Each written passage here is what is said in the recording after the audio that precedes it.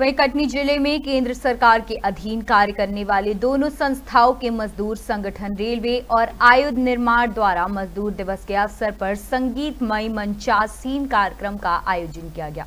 आयोजित कार्यक्रम में संगठन ने मजदूरों के हित को लेकर सरकार से परस्पर मांगों को पूरा कराने संघर्ष की बात कही। आपको बता दें कि अंतर्राष्ट्रीय मजदूर दिवस को मई दिवस के रूप में मनाने की शुरुआत 1 मई अठारह सौ छियासी से मनाई जाती है। जब अमेरिका की मजदूर यूनियनों ने काम का समय आठ घंटे से अधिक न रखे जाने के लिए हड़ताल की थी।